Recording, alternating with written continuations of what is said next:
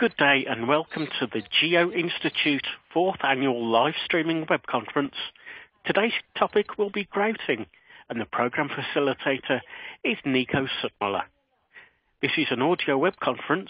You will hear the presentation through your computer speakers, and there will be a PowerPoint presentation that will be shown throughout the meeting.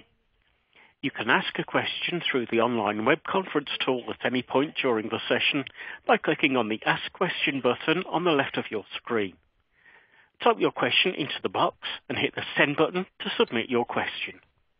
I'd now like to turn the floor over to today's facilitator, Nico Suttmuller. Sir, the floor is yours. Thank you very much, and welcome everybody for attending uh, the uh, grouting webinar for geo GeoInstitute. Today we've got four exciting speakers that will be uh, giving some short presentations. We'll give you approximately half an hour apiece for this two-hour session. Um, I am Nico Suttmuller, and I will be moderating this session.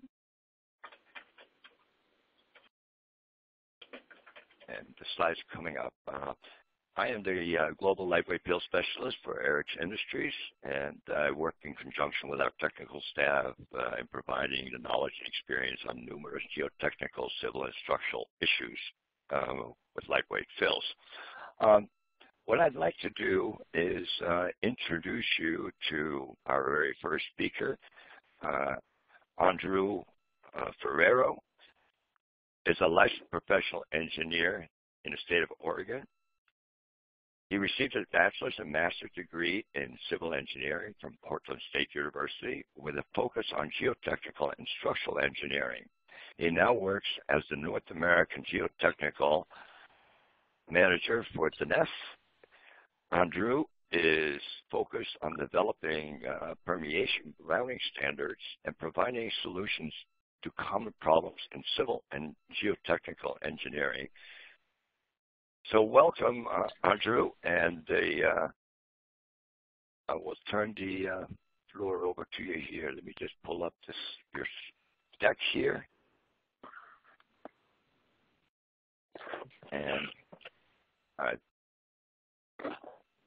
It's all yours, Andrew. Thank you. Can everyone hear me okay? Yes. Great. Okay. My name is Andreu Ferrero, as uh, Gavin said. Um, thank you for joining us today. Um, today we'll be talking about, uh, I will be talking about permeation grouting with chemical grout. Um, chemical grout specifically, we're going to be talking about polyurethane grouts and acrylate grouts today, or acrylic-based resins. Um, permeation grouting is used in soil stabilization, water cutoff, um, and other geotechnical applications, including supportive excavation, uh, water cutoff, and leak sealing. Um, permeation grouting is typically based on the soils that you have, and we'll get into that a little bit more. Um, so, we'll talk a little bit about the background of of chemical grouting. What is chemical grout? Um, we'll move on to the next slide. Okay. So polyurethane and acrylate grouts are typically broken down into two categories, hydrophobic and hydrophilic. So hydrophobic urethane grouts are um, typically, as the name implies, hydrophobic as uh, water-fearing from the from the Greek. Um, they only require about 5% water to create the reaction. It's a light brown to dark brown resin with a viscosity typically in the 50 to 350 centipoise. A thin motor oil to a very thick motor oil would be a similar consistency. These resins are mixed with a catalyzing agent. It either be one-component resins or two-component resins. those resins are usually pumped with a, a lightweight pump, uh, a paint sprayer pump, for example. Um, and they react with the water that is already in the ground or in structure that you are trying to seal. So hydrophobics, as I said before, only use about 5% of the water by volume um, of the resin. Once that water is mixed in with the resin, it does not use any more water, so it will push any additional water away from the resin body. As that reaction occurs, heat is generated. It is an exothermic reaction. In that reaction, carbon dioxide gas is produced as a byproduct, and a foam generates.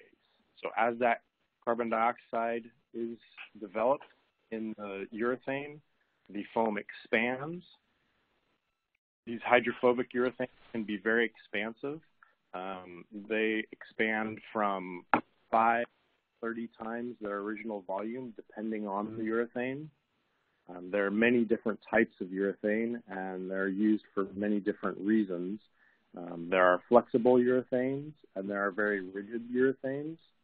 Um, if you have a, a, system, for example, a, um, a cold joint in a roadway where you would be experiencing some movement in that cold joint, um, you could use a flexible foam to, to, apply there and create a seal to prevent any water migration through that cold joint.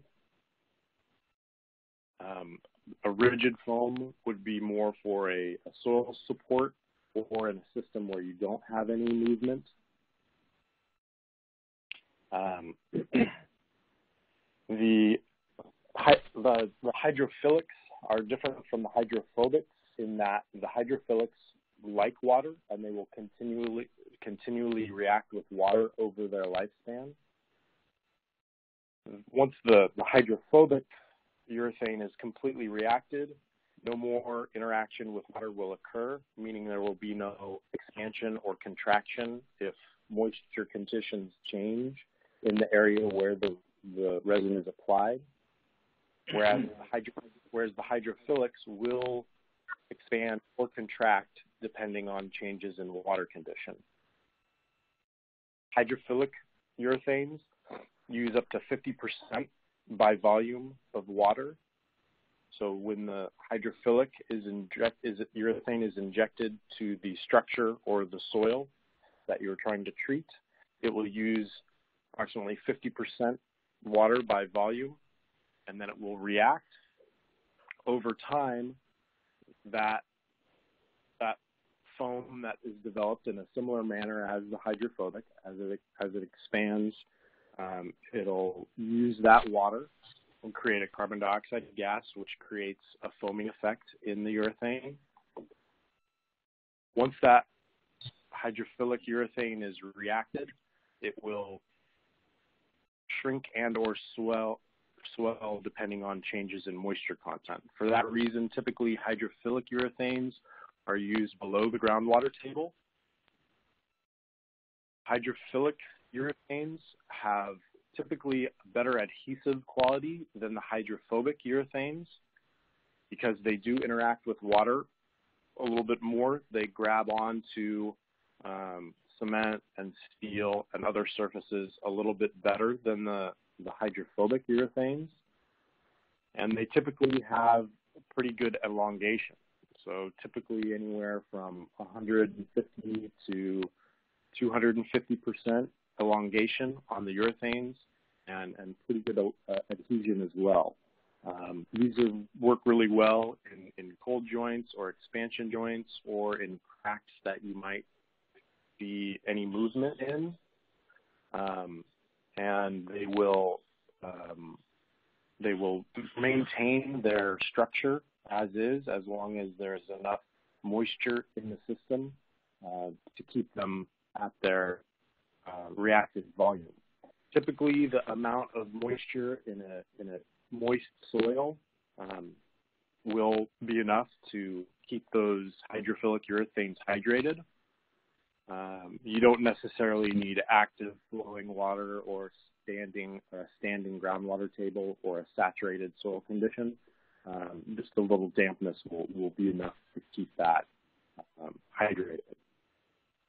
If that, that moisture content does drop um, into a dry kind of state, that urethane, that hydrophilic urethane will start to contract and become um, a lot more rigid, lose its elongation, and, and lose a little bit of its adhesion.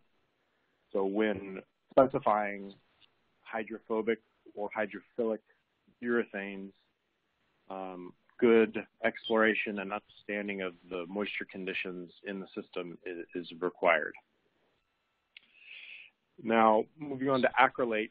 Uh, acrylate or acrylic resins um, are always hydrophilic.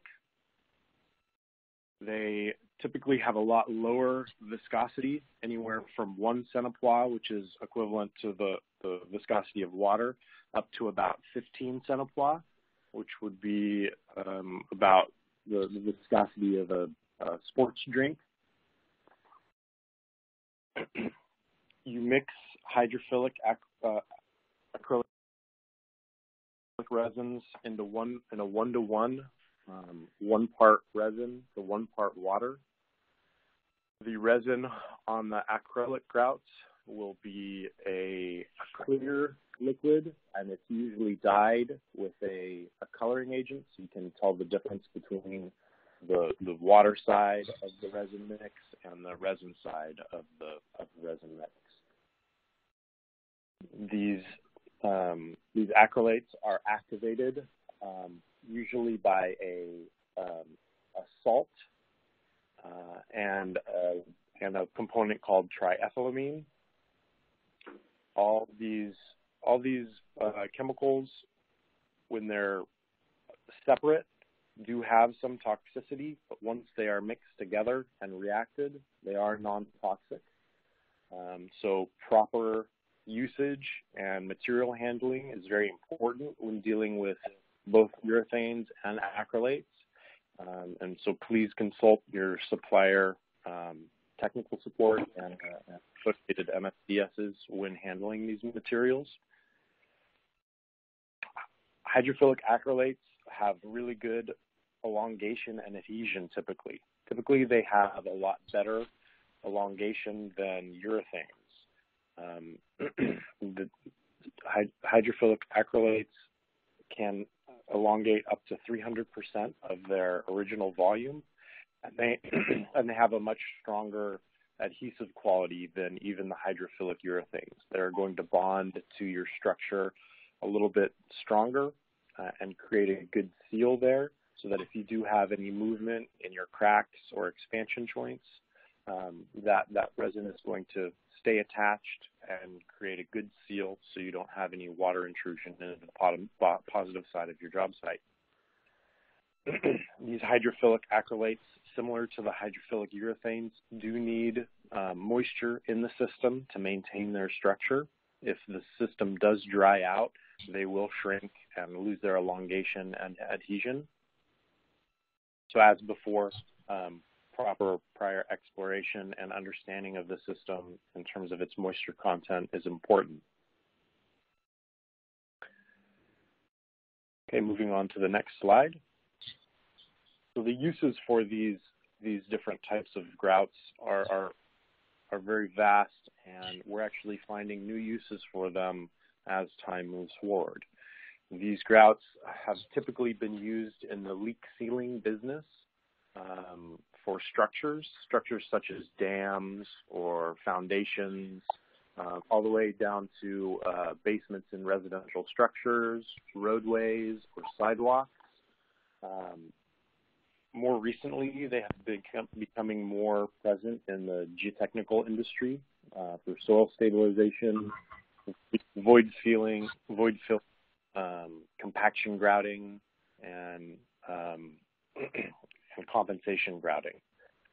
Polyurethanes, as we said before, usually expand a lot, anywhere from 10 to 30 times their original volume, um, and their viscosities range from about 50 to 600 centipoise, uh, and they're typically pumped with a one-component pump.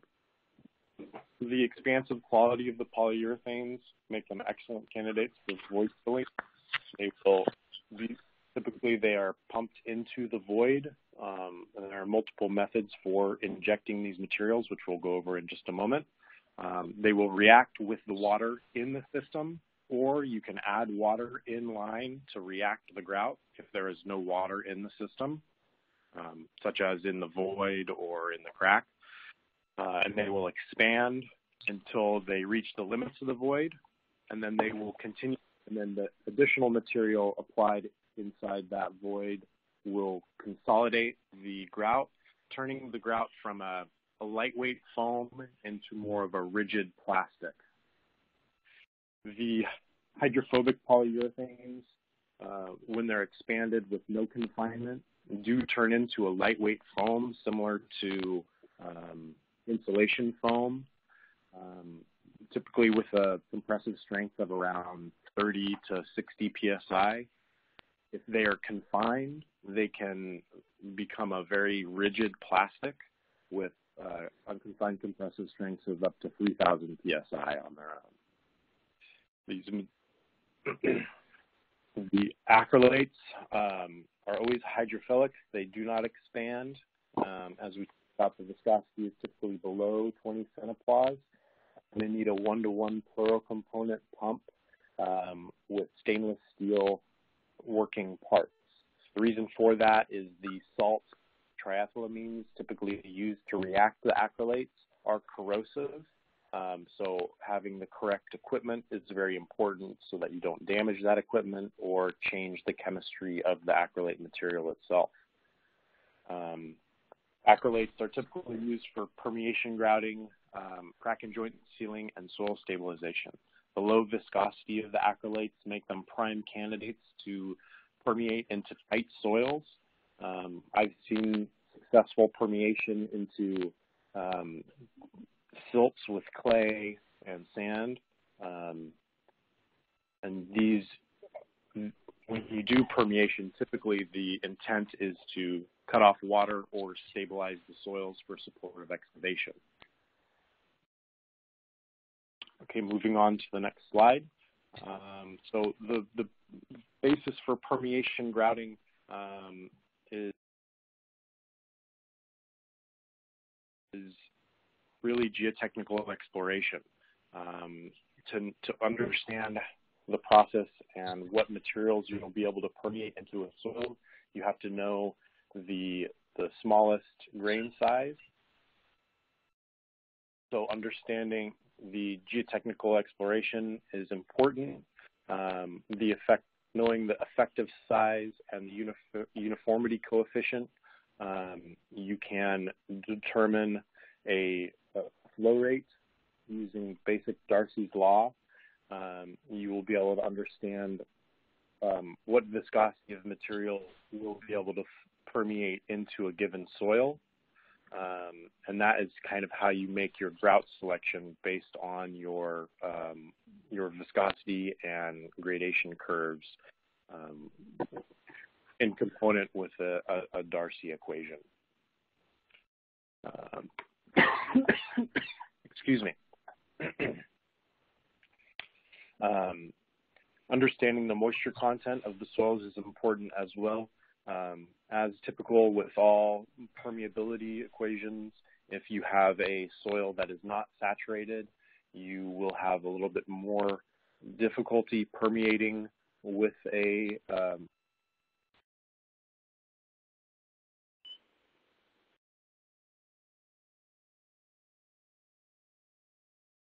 Uh-oh.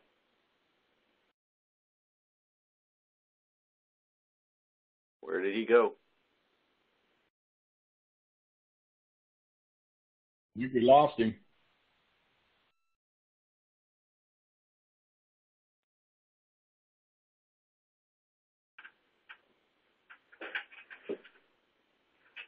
This is Nico. I'm the moderator for today's session. Um, we're trying to figure out uh, for a second here uh, what's happened to the audio here on that. Um, while we're waiting, I was remiss in the very introduction of the session to introduce uh, our gold sponsor, which is uh, Keller Industries or Keller Foundations. Um, and uh, what I'd like to do is just uh, while audio is trying to figure out is uh, share with you the gold sponsor. Um, and the companies of Keller of North America um, are uniquely positioned to handle the most complex geotechnical construction projects nationwide, including all services in one contract. Keller reduces client risk and ensures all aspects of a project are met on time and on budget from uh, Keller Foundations. Again, we thank uh, Keller Foundations for being a gold sponsor on that. And uh, we will now turn it back over um, to Andrew.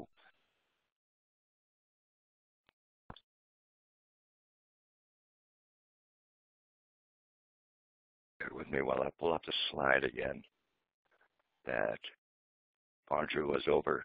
Andrew, are you back on with us?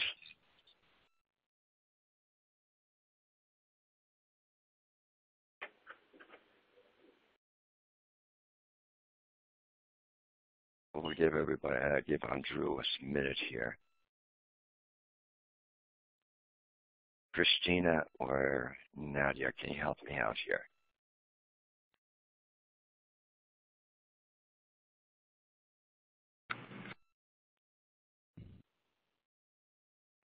Hello, I'm I'm back yeah now. Okay, Andrew, um, we have about eight minutes left on your presentation. If you would please uh, continue here. Excellent. Okay, as I was saying before, the permeation grouting analysis is typically a service that I provide to our clients. Um, so I look at a lot of these geotechnical reports and, and determining which type of grout would be appropriate to use in, in their job. Um, so now we'll move toward uh, the injection methods. There are multiple injection methods. Um, the most simple is probe injections. This is simple, uh, simply a steel pipe with a drive probe in the tip. Um, this is driven down to the target elevation. The probe is then retracted a bit to um, to lift the drive probe out of the the end of the probe, and then grout is injected in the laboratory, um, we did some experimentation with this method. We had theorized that the grout ball formed from the permeated soil would appear to be something like a sphere. And, and in fact, when we did the trial in the laboratory multiple times, we got a grouted sphere. And now this is a, a, a fairly clean sand with approximately 20% moisture content. Um, and we used uh, sonotube forms that we fabricated ourselves, and we injected approximately one gallon of material, and we were seeing approximately 12 inch diameter for the sphere in all directions. Um, so we postulate that this material, when it is injected in a soil, acts as kind of a Newtonian fluid and expands outward in all directions and creates this nice sphere. And this is great because then you can stack these spheres on top of each other and create almost a, a column in your soil of stabilized soil with the grout. These grouts, um, when permeated into soil, can become very rigid um, some of the grouts that we've seen have uh, that have been permeated into soils have compressive strengths. The soil grout combination have unconfined compressive strengths of approximately 3,500 psi, uh, and that's going to be variable depending on the type of urethane used and the soil uh, permeated. Um, the next type is standpipe. this is typically a drilled hole that you insert a PVC pipe that has drill holes on its axis, um, and then you inject through all those um, drill holes at the same time. We theorized that you would get a, a grout formation similar to what you see on the on the screen, and in our laboratory experiments, we got a, a, a grout form that was very similar to that. The most common and probably most well-known type of um, injection method is uh, tube à manchette or manchette tube. Um, this is a fairly complicated system, but allows you to control and isolate exactly where you want the grout to go. If you want to grout a specific elevation in your job site, this is a great way to go. Um, typically, a, uh, a hole is drilled and a, um, a, PVC or steel tube with holes drilled in at specific elevations is inserted and a lightweight grout is backfilled around the annular space and the steel or PVC pipe. A straddle packer or an expanding um, bladder with two expanding bladders is, is pushed down the tube. You expand those bladders around the ports in the in the tube that you want to inject through, and then you inject inject through the center of of the two bladders, and they um, inject through the ports in the steel or PVC tube. Um, this way, you can easily target specific elevations. we had thought that a, a grout formation similar to what you see on the screen would appear. And in our laboratory, we in fact saw that we got that similar kind of oblong shape.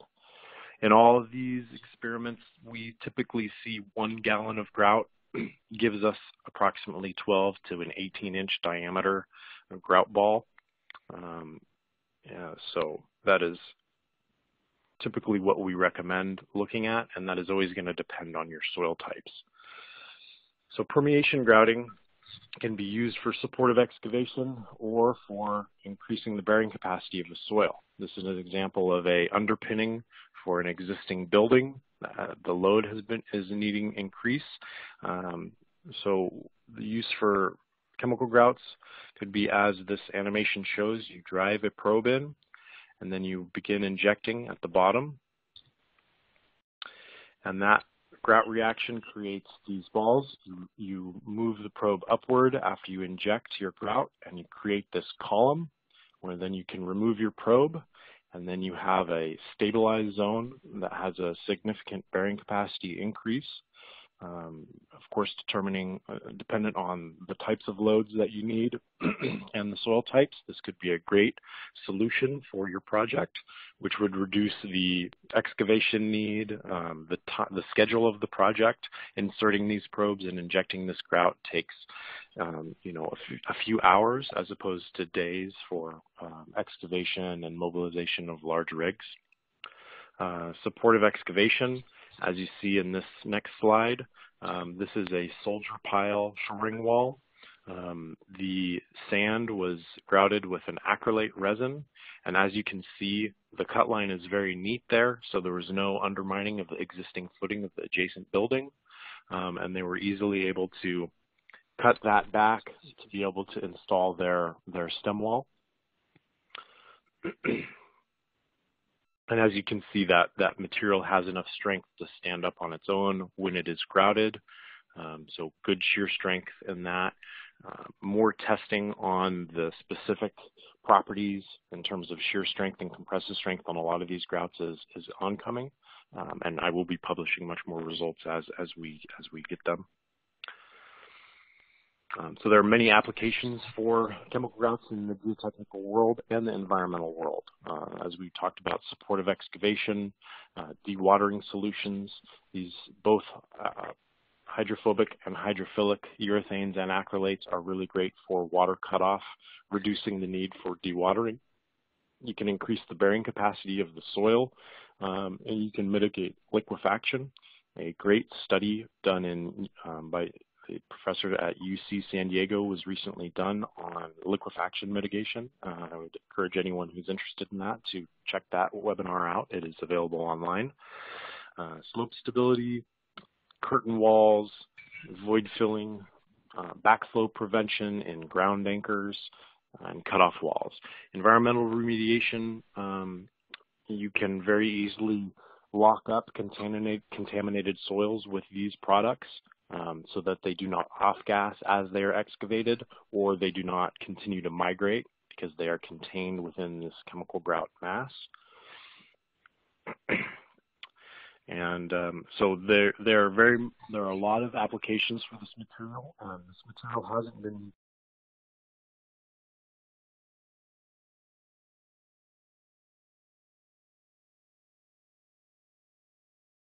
used very extensively in the industry because not a lot has been known about it. Um, my role with DeNeef is to understand the product more and how it interacts in soils and how it interacts under loading, varying loading conditions. And so over the next few years in, in my career, I will be publishing much more information about this and providing support to uh, engineers and contractors um, so thank you very much for your time. Uh, if you have any additional questions or would like to learn more, please contact me at the information on the screen or um, please ask those questions in the Q&A uh, portion. Thank you very much. Thank you, Andrew. And, uh, you know, we did a great job of staying within the time there, even with the technical uh, difficulties involved on that. And uh, I would like to uh, just proceed right away on to the next speaker. Due to time, we don't have a lot of uh, time for um, uh, a Q&A session on this session. Uh, maybe we have it towards the end. I would uh, like to introduce at this time our uh, next speaker, which is Milton Gomez and he is vice president and senior engineer for Aerix Industries. Um, the, he will be talking about soil remediation with permeable cellular concrete. Uh, he has worked with cellular concrete applications since uh, 2005. He is responsible for overseeing all operations, including sales, engineering, and technical support for the entire organization, both nationally and internationally. He has designed and assisted in the development and implementation of technical product systems and engineering evaluation practices on materials and equipment for Aerix Industries.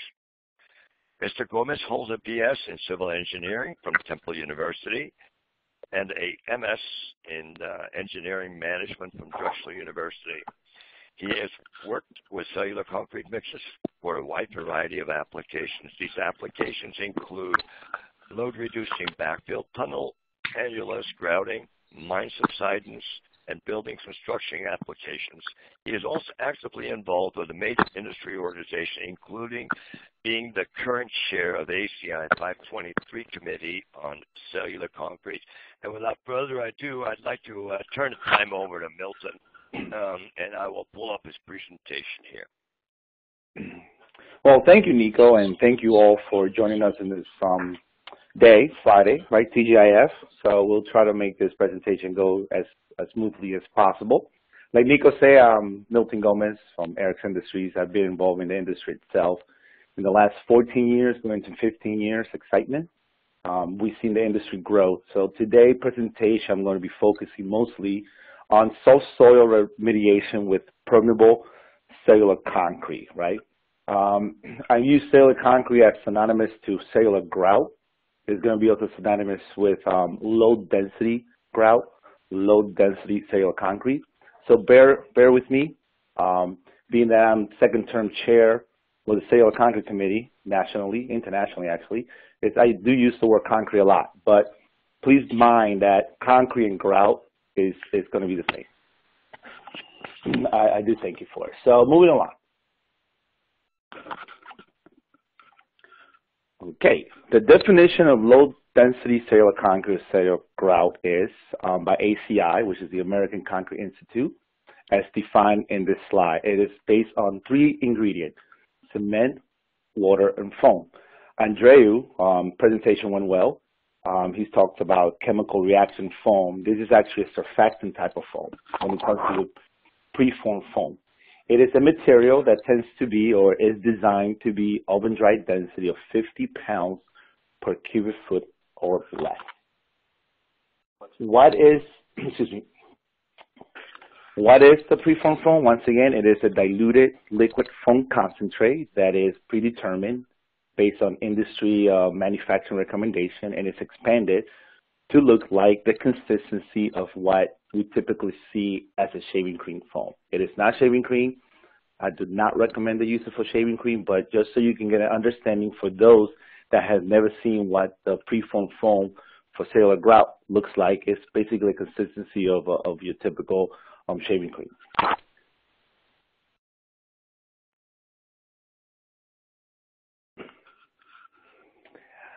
The, the technology itself conforms to two, two industry standards. When I say industry standards, it's on the American Concrete Institute.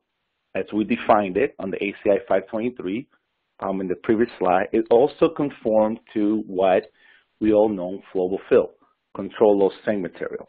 For the fact that the product is a flowable, self-compacted cementitious grout um, that is excavatable, it produces low density control low strain material. It's, it is listed on the ACI 229 guidelines.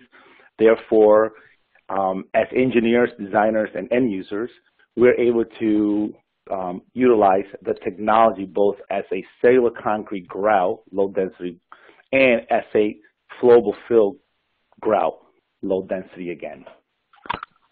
Basically what it is, is that the cementitious um, material encapsulates the air bubbles.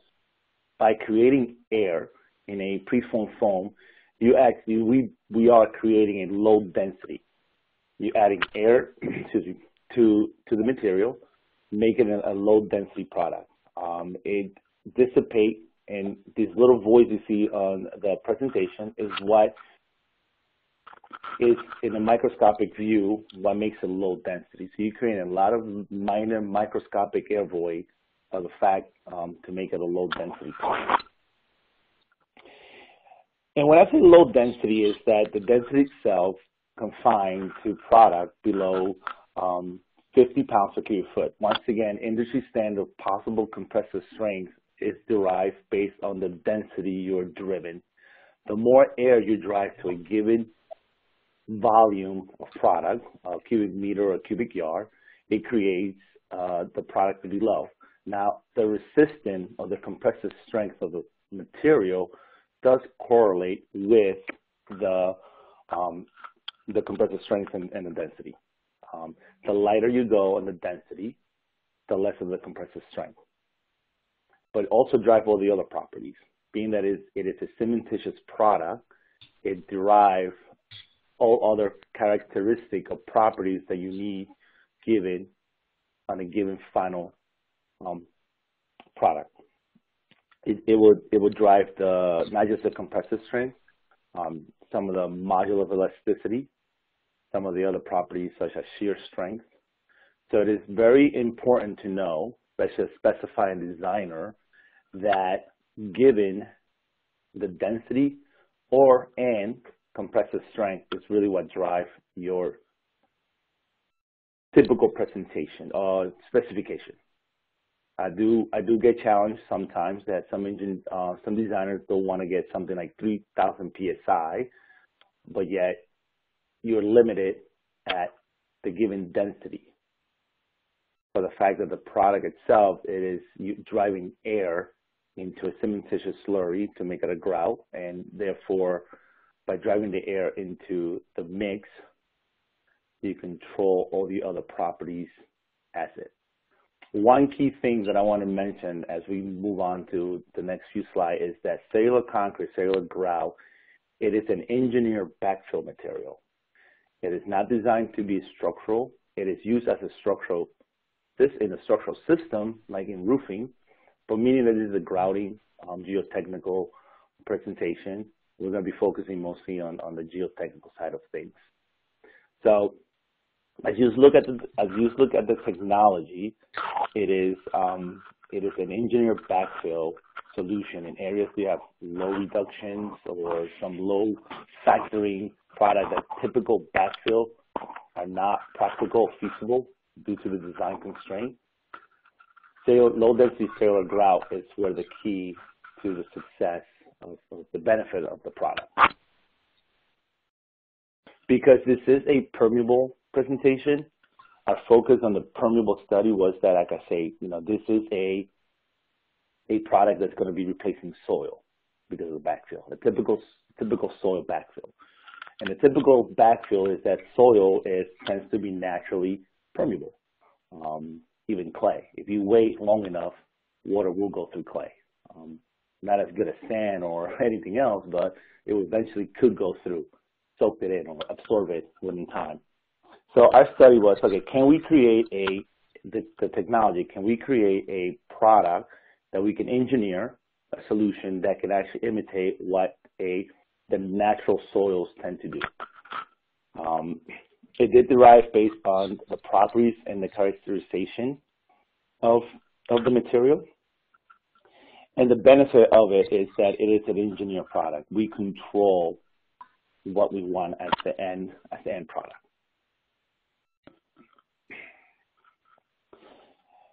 One of the key things was is like how the challenge, how can we maintain the pore space to allow the water to permeate through the material? So we're trying to create a, a solution that allow natural flow of water that was already there to continue its natural path, but yet control it, the backfill not allow it to erode because it's the concrete produced cementitious grout. So the challenge was how can we create something that can be self-stable, still be stable, and you can still have a compacted self and be a self-leveling engineer solution.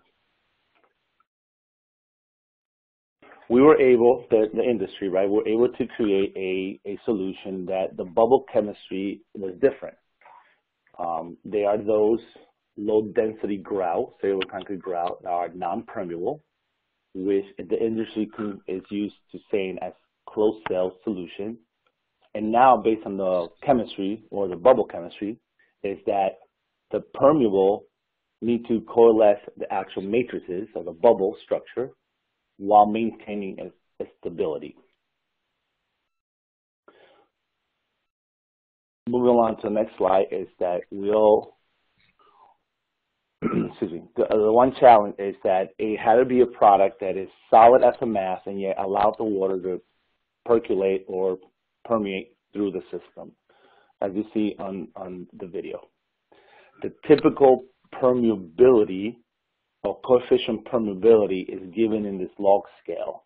Um, it is give you a presentation what the, here we use the acronym PLDCC stand for permeable low density cellular concrete, or once again cellular grout, where you can achieve um, permeability 10 to the minus 1 to like 10 to the minus 3 compared to what sand and gravel mixture will be permeable through as you, you see in the log scale. Um, once again, you drive this by allowing yourself the more air of the more of the bubble correlation co uh, co allow you to create a permeability and control the permeability of the product. As you see on the next slide is that I was mentioning earlier is that density drives your character properties, not just only does drive the compressive strength, but it does drive your permeability rate and infiltration rate of the product. Of course, because this is a chemistry-based solution, is that the more air you have, eventually going to have most of the voids, right? And therefore, the more voids you have, the more permeable or infil the infiltration rate is going to be higher. We are limited by a factor, you know, between a 25 pounds per cubic foot to a 35 pounds per cubic foot for the ratios between you know, surface area of the cement itself and the slurry and the air void content on it. Not only that, the industry has adapted various testing on, on the job site where they have shown that the saturation void ratios are fairly um, stable on different type of, um, depending on the head pressure on it. Um, study has shown as high as over, you know, the, the low density part, like the 25 density, as high as um, between um, 70 to 80% void ratio, and a little heavier, less less foam foam in it, or less bubble structure. You can get even a higher 60, 50 to 60% void ratio what we've done in the industry itself is that we recommend the engineers and designers to focus on the 50%. So you out there working on a job that requires a low density solution for the fact that your typical soil will be um, too heavy to handle. You have a product that now able to create permeability, but then you have to always consider, okay, Murphy's, uh, not Murphy's law, but uh, physics 101. If you place something lighter than, than, than water, it tends to flow. What I like to say in this, converse, in this in this slide is that as a designer engineer, the conservative, we are conservative, right? We want to stick with, okay, I put this product, it's light on the water, but 50% of that is going to be absorbed into the product before we have any buoyancy calculation. So it is a solution that allows you to have any water intrusion in the future, a low density approach, that you know that at least 50% of that fill will be absorbed with the water intruding into it before you have any buoyancy, any buoyancy um, concern. Not only that, you know, studies showing shear strain, um, uh, stress strain, stress strain curve of the product of various density, um, you know, behaves just like um, any other grout, any other concrete out there itself. You peak at a certain, a certain um, deflection, and it just follows a certain curve. So it is a product that kind of varies between a, a backfill soil um, replacement, yet has concrete behavior. It's Not going to be like normal concrete uh, or structural concrete, but it behaves just like a mass, like a concrete mass itself. Um, and the next, this is just a, a, little bit of the of the history or the of the technical uh, of the product itself. Moving on is I want to discuss a, a couple case studies that this product was used and why it was used. One of them, um, I'm actually my my office and like you know Nico introduced myself. I, I am from Pennsylvania. So one of the project was here um, in Pennsylvania. It is the U.S. Route 30 in Pennsylvania, which is one of the routes that actually um, follows the old Lincoln Highway. Um, it goes all the way from Ohio border almost to the New Jersey border itself to to um, to to the river outside Philadelphia. The the challenge here was that uh, a sinkhole appeared underneath Route 30 in Chester County, which is right outside of Philadelphia area, uh, just to get you familiar with this where this project was located. The reason of this is that US 30 does carry um, uh, thousands of vehicles daily in and out of the city for those people that live in the suburbs, not just only vehicles that um, go in and out of the city for people, but also, you know, the, the trucking industry. It's a very major route that goes in and out of the city of Philadelphia. One of the things was that this sinkhole, um, the project layout for this was that PennDOT excavated the area up to bedrock. They did not, you know, after doing so many probes and getting so many um, boring, they they found um, the solution. So they actually reinforced the earth of, of under the US 30 medium, as you see in the picture, um, and both on the eastbound and westbound side of travel lane. Um, the reliable solution was that the crew repair the excavate area um, structurally, but then they want to know what can we do in, in, in the meantime, in the medium, to create a the, the natural flow of water, not to get further further sinkhole, but yet not bring a product that's going to be too heavy to create future sinkhole in, in the future.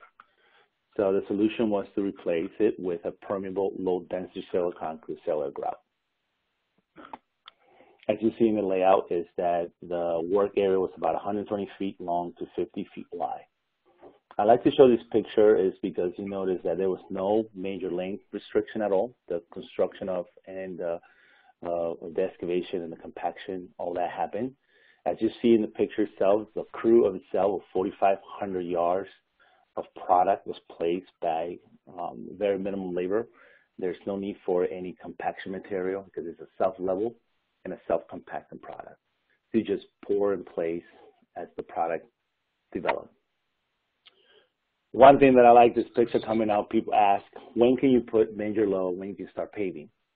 So Friday was the last day of the job backfill.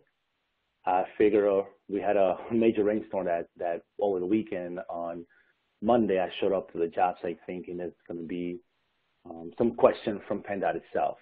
I showed up around 7.30 in the morning, and this is what's happening right on the job site.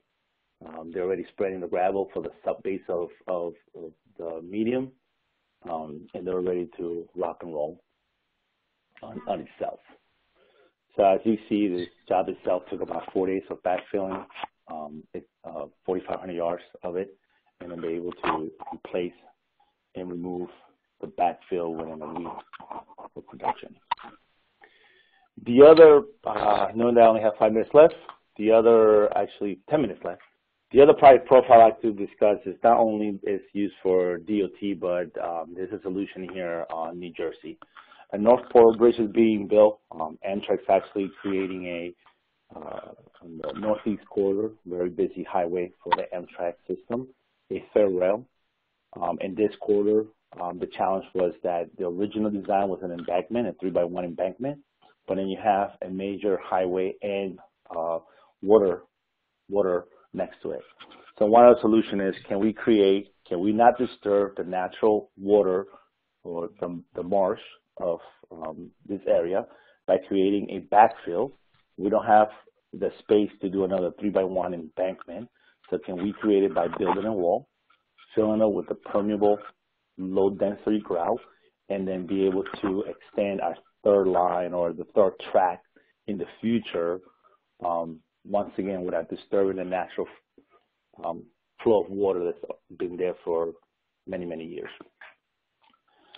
As you can see in the next slide, the solution was to use a cellular concrete was proposed for use of the backfill material behind the wall to facilitate the construction and to mitigate the settlement concern and contribute to the overall stability of the retaining wall. Um, one of the things of cellular concrete being a self-compacting and, and, a cementitious product is that once it's once it's placed, right, you, you deal with your your plastic face, but once it's cured, it just becomes a mass.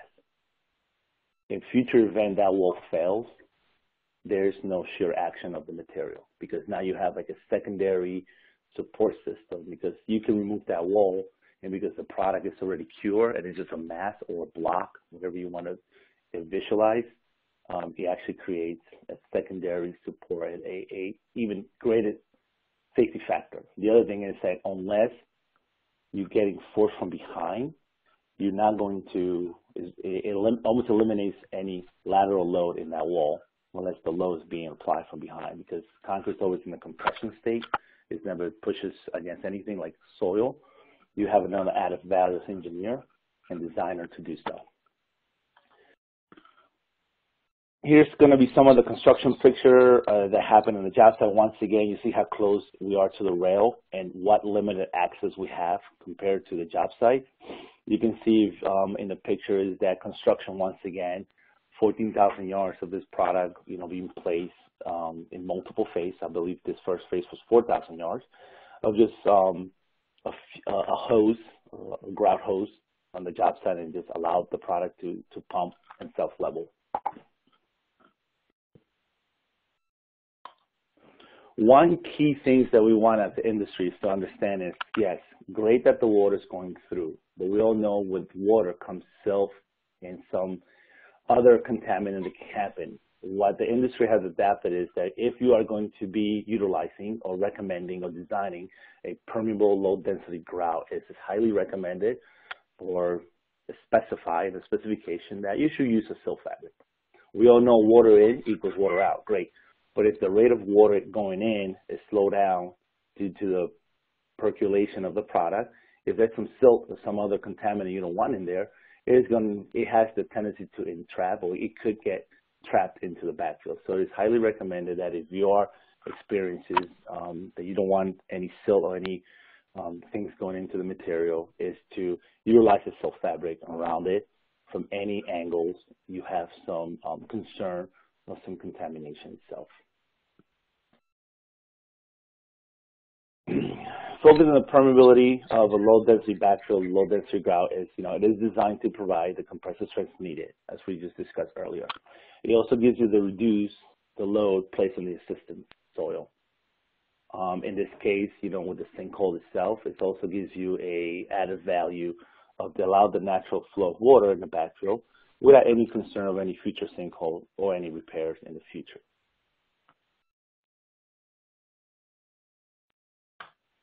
Finalizing my presentation is that, you know, what conclusion can we draw about cellular concrete or low density cellular concrete? It's very versatile. Um, in many cases, very economical due to the production rate. Um, some of this rate can be as high as 150 to 200 yards an hour. It also gives the designer, engine, an engineer and specifier, and end user some flexibility of um, changing anything that's needed to meet the project. Um, I always like to drive this that no longer does do we engineers need to adapt to a product. Now you can design the product to meet your project needs. And in that case, Mr. Nico, I always like to finish my presentation in that comment. I open it for some questions with some five minutes left. Great.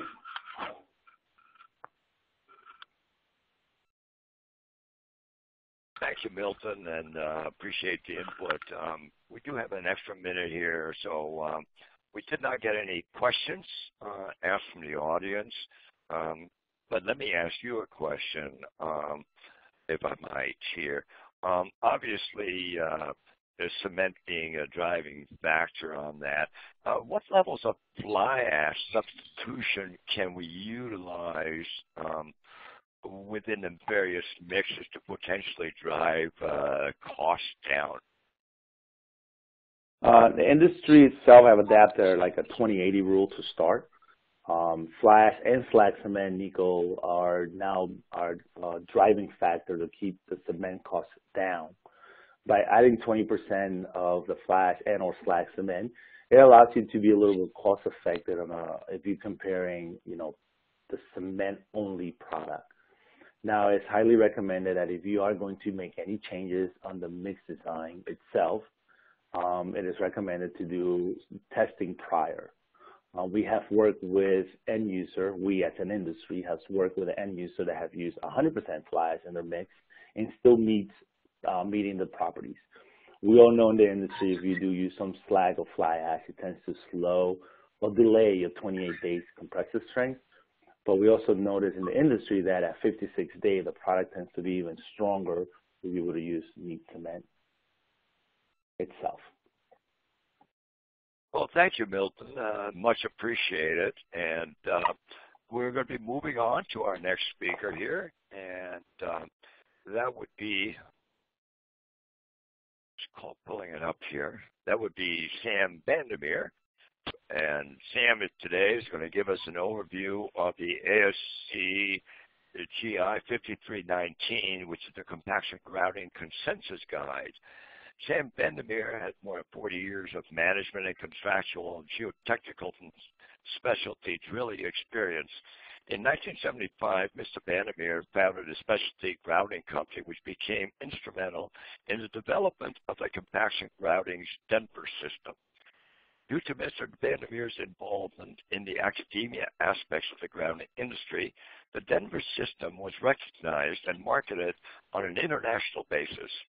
In 1996, Mr. Bandimere sold his grouting company, became a specialty field grouting consultant dedicated to the support of other grouting companies.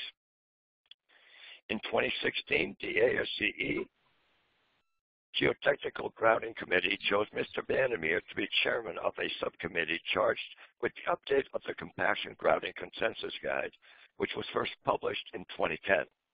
The update was completed this year and is listed in the ASCE publications as document 5319. And with that, I am going to turn it over to Sam, and I'm bringing it up right now for you, Sam. Sam, please uh, take it over at your leisure. All righty. Thank you very much. It's my pleasure to be a part of this presentation today. And uh, Obviously, my uh, presentation is to deal with the compaction grouting consensus guide. I'd like to just maybe do a little bit of a, a, a review of uh, where we're where we've come from, uh, where we're at, and where uh, we see ourselves going with the compaction grouting application. Uh, the compaction grouting application was actually simultaneously the concept of it was simultaneously conceived by two contractors out of California uh, and Ed Graf uh, out of San Francisco and Jim Warner out of Los Angeles uh, back in the late 50s, um, trying to deal with control of grout, uh, pumping fluid grouts. How do you control them? How do you uh, limit their travel indexes and so forth? And so they were both kind of dealing with um, the issues of um, uh, thixotropic uh, issues. How can you make grout just travel so far and, and stop? Uh, rheological properties, uh, maybe adding some aggregates to it and so forth to um, uh, limit the travel of these grouts. And so um, uh, in 1962, uh, Ed Graf actually wrote the first paper, and I thought I had a copy of that. I went through all my uh, records. I couldn't find a copy of it, but he wrote the first paper, and he coined the term compaction grouting in that first technical paper that was presented uh, at an ASCE uh, conference. Well, um, not to be outdone, Jim Warner, uh, who is probably one of the most, uh, whoops, I got the wrong. Jim Warner has probably written more technical papers uh, on the application of compaction grouting than any author I know out there. Um, just due to mainly because of the number of years he's had to work with it. But um, uh, he's uh, been a, uh, the guy that's probably the godfather of the whole system. Um, Ed Graf was somewhat senior to um, Jim Warner in age, and so his career came to an end earlier than Jim, although Jim seems to be our energizer bunny that uh, I'm not sure he's ever going to give up uh, on his career, and that's good because he's got a lot to offer. So anyway, a lot of these technical papers were written uh, through the 60s, the 70s, uh, up into the 80s. Uh, a lot of these technical papers written on compaction grouting, case histories, uh, uh, just the technical understanding of what we're doing with these low mobility grouts, these very stiff grouts that when you inject them, uh, they just stay in a homogeneous mass. Uh, they do not travel. And uh, so uh, we have good control of a, of a grout when it's injected. Well, I came on the scene about late 1979, in early 1980, and um, looked at what Ed Graf and Jim Warner uh, had done uh, with equipment. Um, up and until that point, what they had done is tried to modify equipment that was really made to pump uh, fluid type grouts. And when you do that and, and try to pump a stiff grout through that, it just doesn't work very well. And so they did a lot of modifications. They, Jim Warner actually developed his own little uh, modified mortar pump that he was doing the work with. And I looked at these this equipment uh, when I came on scene and said, "There's at that point, um, there's got to be a better a better way of doing this as far as um, the mixing, the pumping, and so forth." So I um, I looked at the concrete pumping industry, and uh, at that point, the concrete pumping industry was coming on was well established and and was coming out with some new types of pumps and so forth. And so I, I took that equipment and uh, modified it. Uh, because when you're looking at the concrete industry, the name of the game in the concrete industry is volume. How fast can you move a yard of concrete from point A to point B uh, out the end of a hose, um, just delivering the product to its point uh, of delivery. But when you're looking at grouting, you're looking at uh, very slow injection rates, uh, very high pressures um, with um, back, back pressure on this grout and so forth. So uh, the actual concrete pumping industry, while it had some great equipment out there, it just had too high a volume capabilities to it to work in the grouting industry. So it all had to be modified to slow it down and uh, give it uh, the ability to handle the back pressures that we needed in the grouting industry. So in 1997, I, I wrote a paper uh, based on what we were learning uh, through the years with the equipment and its development and so forth uh, on on the state of the practice.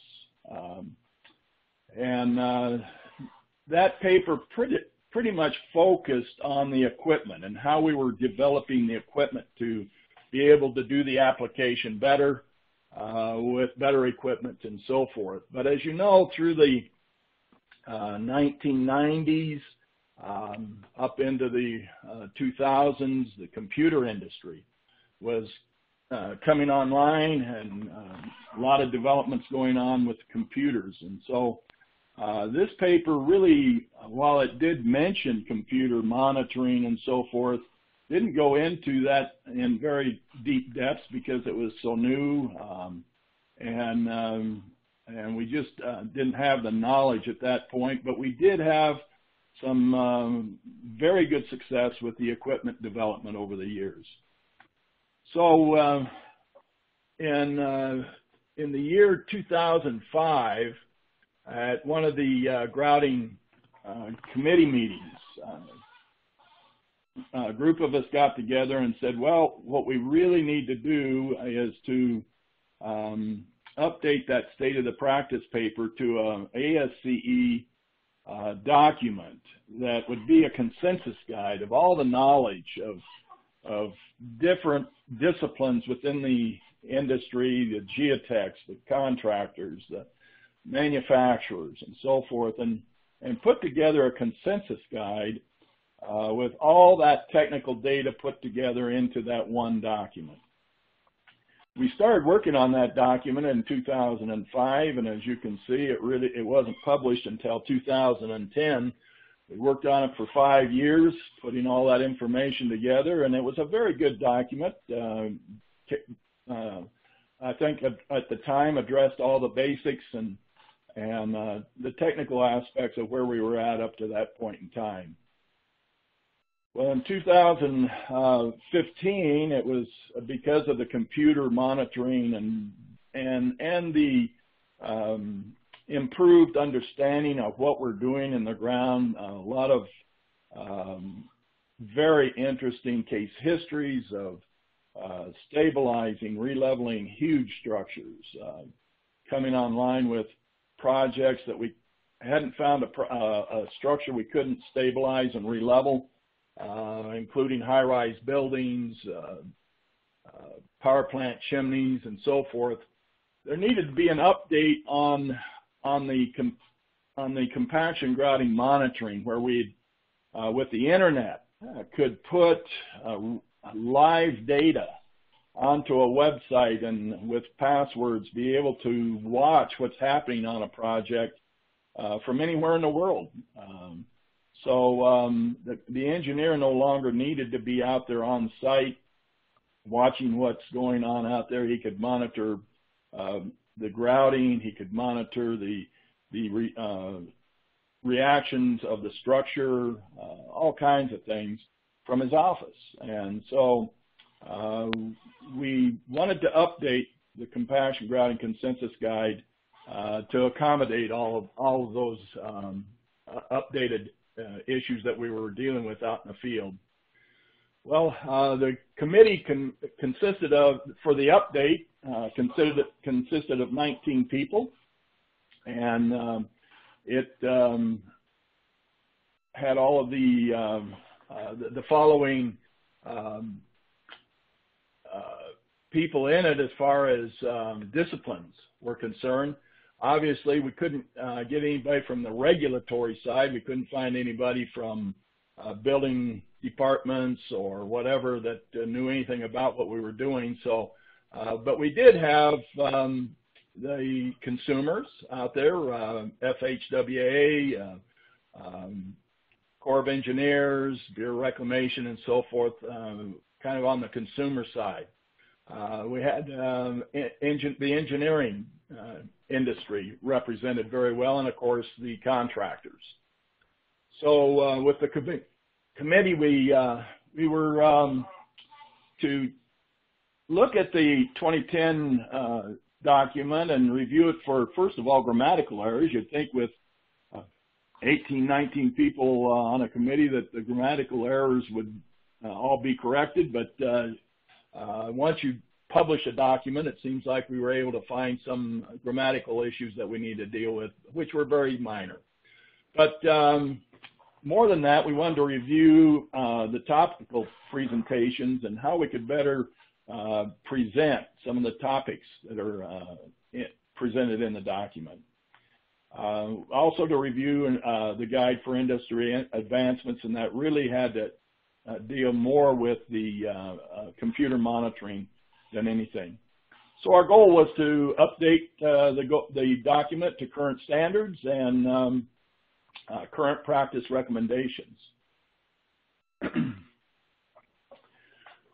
Well, the committee uh, uh, work re resulted in uh, several things, but one of the main ones was that we felt like uh, in the 2010 document, uh, monitoring and verification was all in one chapter.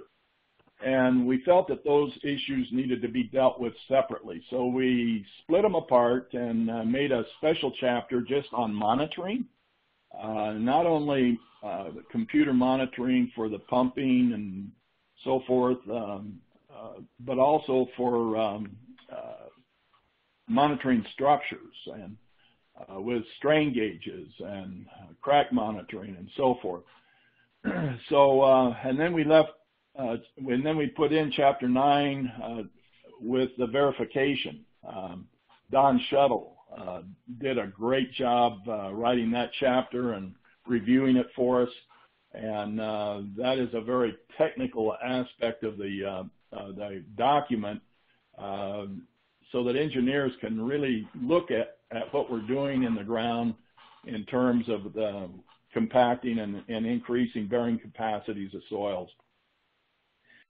Well, uh, one of the areas that concern me the most as a as a consultant to contractors and so forth is the most difficult part of the compaction grouting application, and that's finding the material and understanding the material that you're pumping. So chapter three dealt with that, and we uh, I personally went through that chapter and uh, tried to uh, make for sure that um, we understand the grout that we're pumping and why it works and how it reacts and so forth. And um, so we we basically have three three issues that we need to deal with when we're looking at the material. First of all, it must be able to be pumped. Uh, if it sand packs, if it blocks off in your hoses and so forth, and you can't get it down the ground because of its back pressures, uh, you, you're not accomplishing anything. The grout must remain in a growing mass in the ground. Um, we want it to uh, grow a homogeneous mass and displace the soils that it's being injected into. And uh, so uh, how to get that grout to give up its bleed, uh, bleed water and so forth, uh, the, the water that's uh, used to mix it, it needs to give up that water so that that grout becomes immobile as it exits the tip of the probe.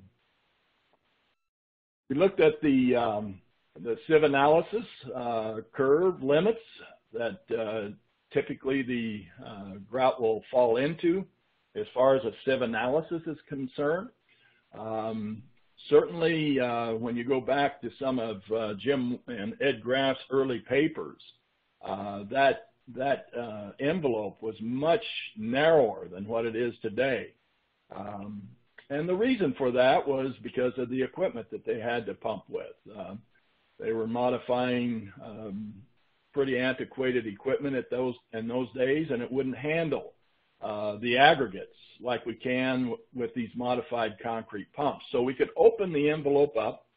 Uh, today, I I look at that envelope and just say, well, the reason it uh, cuts off at a maximum uh, aggregate size of three quarter inch is because we're pumping typically through two inch hoses. Um, and so you're you're you don't want to be plugging your hose because of uh, large diameter aggregates. But uh, the material, when you look at uh, the sieve sizes, obviously you get down to the 200 sieve size. Anything below that is just silts and and uh, basically what I call a, a pumping aid. That's it's the minus 200 material that allows you to pump the material that's above the 200 sieve. And so um, when you look at this minus 200 material, the plasticity index of it, the PI of it, is very important. If it's uh, got a low PI to it, you're probably going to have to have more of it.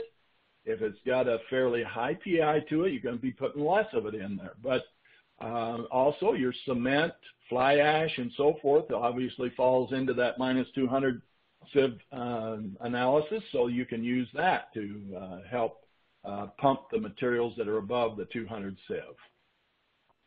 So anyway, understanding the, the material um, and finding somebody that can supply you that material with that minus 200 uh, in it. Uh, you can go to um, a lot of places and they'll have um, your concrete suppliers.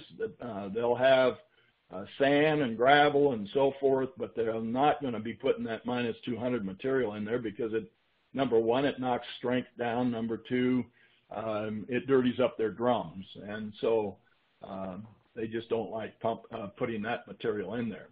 Well, when you look at this material as it comes out the end of a hose, that slide there on the left um, pretty much just looks like a, a dirty material. Can't see much aggregate in it until you just take that sample and spray a little water on it, and you can see as you wash away some of those fines, uh, the aggregates that are in there. Um, and uh, that it's those aggregates that uh, allow this material to have a, an internal friction to it. It uh, also, if the ground tries to hydrofracture or try to fracture, those aggregates are going to plug that, that fracture and uh, cause a back pressure so that it continues to move out in a homogeneous mass. So uh, what it actually looks like in the ground is, uh, first of all, you can see there in the lower left, um, you're going to be pumping it at less than a two-inch slump. Um, and so you're measuring that with a, um, uh, a cone. And I, I, I would caution you that if you're going to do that cone test, uh, don't follow the ASTM spec specifications where you fill that a third full, rod it, fill it two-thirds full, rod it, uh, and rod that. You have to just simply fill it because um, it, when you're dealing with these very low mobility grouts, very stiff grouts, when you stick a rod into it, it just leaves a, pokes a hole and leaves a hole in it. So uh, you just simply have to, um, uh, and that's true for your uh, strength tests also, your, your uh, strength cylinders. Uh, don't be rodding that stuff in there. You just simply put it in there, kind of pack it in there. Um, otherwise, you're going to poke it full of holes and affect your strengths when it comes to breaking your brakes. But as you can see, uh, the grout does stay in a homogeneous mass as it comes out the tip of that uh, probe. And um, if you've drilled your hole with a minimum amount of uh, annulus space, that grout will just simply come out the tip of the probe, cannot get back up the annulus space because it's so small. And it also will tend to plot, block itself off from trying to come up that annulus space to a certain degree, uh, as long as that annulus space isn't too large. But your goal is to uh, get the grout to stay in a homogeneous mass and also to affect the ground around it. I mean, go back, you what you want to do is uh, uh, where that grout is pushing out on those soils around it, you're densifying those soils unlike any uh, permeation type application where it's just simply um, you're creating a bulb, but that's it. And what we're doing is increasing the bearing capacity of the soil around the bulb, plus creating a, a, a bulb and of course a column if you, as you pump and pull. So uh, you're looking for an increase in density of the soil and bearing capacities of the soil around the grout itself. Well, the monitoring, uh, like I say, we've done a lot of work on Chapter 8 for the computer monitoring and so forth. Um, that's, that whole chapter was updated for you. Um, and it basically covers uh, five segments, uh, why monitor, what to measure, the automatic monitoring of grout injections, the grout monitoring machine, monitoring of structure movements, uh, and then how to how to present that data. Um, uh, in 2012, at the International Grouting Conference in New Orleans, there was quite a ruckus uh, because a lot of the contractors are developing their own uh, monitoring systems for grout uh, monitoring and so forth, and it, there was quite a discussion about how do you present that uh, information. And so uh, we thought that was important to include uh, that in, in this document. Uh, the verification, uh, which is, as I say, the um, section that Dawn Shuttle, who is, um, I, got to say, I don't understand everything she wrote in here because it goes over my head, but she's a finite analysis type person um, and uh, did a great job of dealing with in situ um, ground improvement methods, means and methods, and I think that chapter speaks for itself. But one of the things, um, uh, chapter 9, well, chapter 9 has four sections to it. It's the overview of verification development, planning verification, uh, methods, and, and, summary and a conclusion for that section. Um, but one of the things uh, that we were very concerned about is we didn't want to um, get so technical um, that as you can see down here in our last conclusion that we become so high tech, you, forget to utilize the old standard, what we call low tech means and methods. I don't care if it's putting some um, duct tape over a crack or using a an old crack monitor or um, a dial indicators and so forth. Just maybe maybe just an old carpenter's level. Um, using strings. Uh, so don't forget those systems. They're, they're still very applicable, but uh, just wanted this document to also um, uh, cover the whole gamut of what's available out there for the engineering community as we uh, deal with real-time uh, information that's available. Um, so um, we also, in the document, included some applications that you can do. And the reason we did that is that this document focuses truly on the compaction grouting application. Um, you'll notice down there in section 10.3, sinkhole remediation and, and so forth, we did not cover that um, because it's really not compaction grouting. I believe it was at the 2002 International Conference in New Orleans that Mike Byle presented a paper uh, that he um, headed up as uh, when compaction grouting is not compaction grouting. And because we were using these low mobility grouts uh, to fill sinkholes, we were um, using them um, to do karst void filling, um, to slam off high water flows uh, through dams. Uh, just doing a lot of work with these low mobility grouts. And Mike Byle coined the term low mobility grout.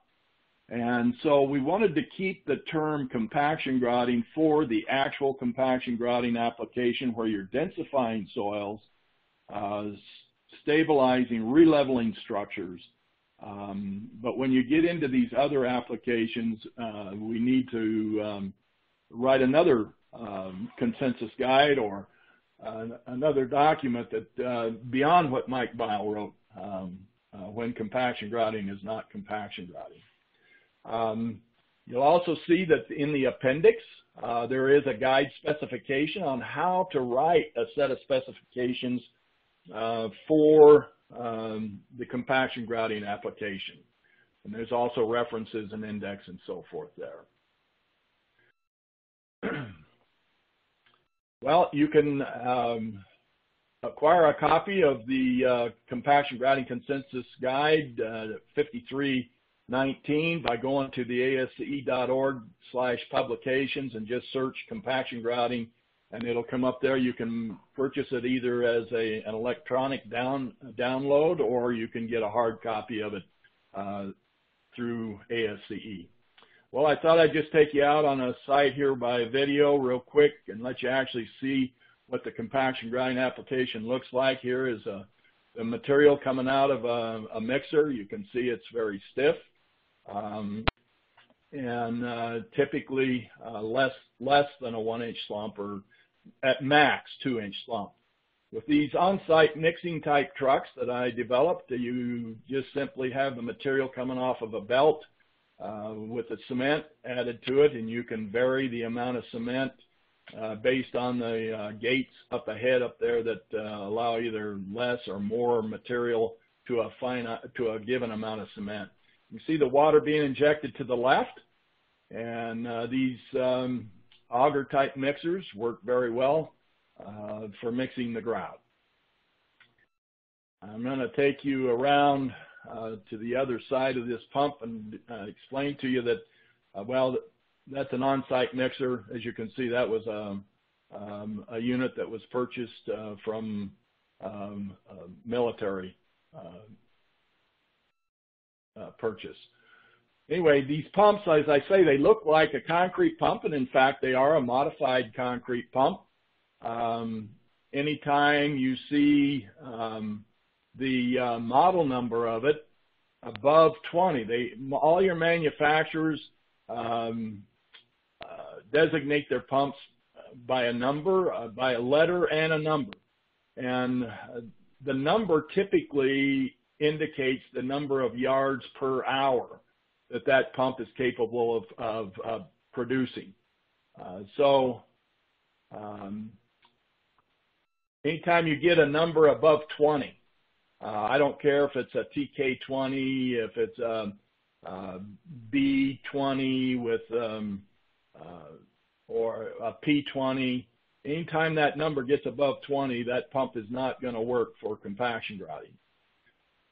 Monitoring, uh, certainly uh, you can do um, manual insert monitoring. Here we have a strain gauge that's being monitored on a concrete wall as well as uh, entering uh, the data manually into a, an Excel spreadsheet. Um, you see the header guy out there, um, and he has radio communications with the gal that's doing the entry uh, there on the Excel sheet. So that's kind of uh, just the pumping side uh, of the um, uh, compaction grouting application. And then I just thought I'd show you a video of maybe doing some typical drilling, and this one has to deal with inaccessible areas where you you can't get a drill, and so uh, using hand drills. Um, in this particular, and this is real time, is so you can see the penetration rate. Those are three foot sections of casing, and you'll see the penetration rate going down. They are doing top downs on this particular job, and in this case, uh, the the water flush. Um, this is a site doesn't matter where it goes, so they just let it run. Now, if you're in a site where you need to contain that, you can put a box around there and contain those um, those cuttings coming back up. But um, there's really no, uh, typically the compaction grouting, the reason you're doing it is because you're dealing with soft soils. And so the drilling is rather easy and uh, not too difficult to do. Um, and um, it's not uncommon to use these handheld uh, drills to be able to get to inaccessible areas. This particular's right here, they're at 30 feet. They just went out the bottom of the, the case, of the grout bulb down below. These casings come in three foot lengths. They're flush joint, OD and ID. That down at the bottom, the, that casing, there's uh, just three teeth on the bottom down there doing the cutting, and it's open on the bottom. And uh, the water that's going down is just simply hooked to a garden hose, uh, pumping, you know, injecting three to five uh, gallons per minute as you do the drilling. Uh, back up here and just show you some of the uh, the access issues on this job. It's working on some grain silos, 80 foot diameter, 135 foot tall, uh, releveling those, and you can see back underneath there, uh, it's uh, inaccessible area. There's also um, down underneath there was uh, some uh, uh, areas that you couldn't get to. Now, it did have a backhoe mounted drill for doing the drilling around the outside of the structure, but uh, these small uh, handheld drills work very well for the inaccessible applications.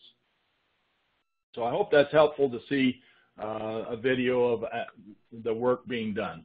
So with that, any questions uh, that anybody has? It's been my pleasure to present the uh, Compaction Grouting Consensus Guide, 5319. Sam, we certainly thank you for a very informative uh, presentation that you gave here. And uh, we're going to stay on time. There were no additional questions posted uh, at this time. So what I'd like to do is um, we're going to be moving on to our next speaker for May, and that would be Mike Byle. And uh, Mike is uh, going to be presenting a, uh, a case history on the uh, low temperature uh, dam grouting. And um, Mike Byle has more than 35 years of professional uh, experience in civil and geotechnical engineering. He is responsible for Tetra Tech's uh, corporate technical quality for civil, structural, and geotechnical engineering services, management of complex projects, training, expert consultation, and professional development of technical, civil, and engineering engineering staff. He is a member of DFI, ASTM, and a founding member of the Geo Institute of ASCE and the Delaware Valley Geo Institute. He has served as chair of the GI Committee on Grouting and chaired several international conferences on grouting. His background includes extensive experience in investigation and rehabilitation of structures and foundations, soil improvement techniques, stormwater management, including infiltration and best management practices, exploration and mitigation design for karst, and project manager management for uh, civil, geotechnical, and geoenvironmental projects. He has completed numerous investigation, design, and construction projects involving grouting.